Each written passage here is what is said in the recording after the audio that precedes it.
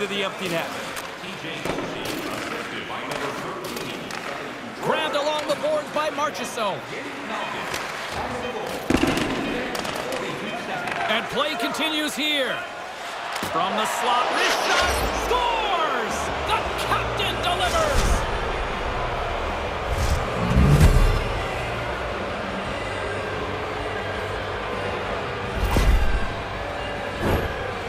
James, I think the, the quickness of the delivery of the puck is more important than the placement when you're in this tight.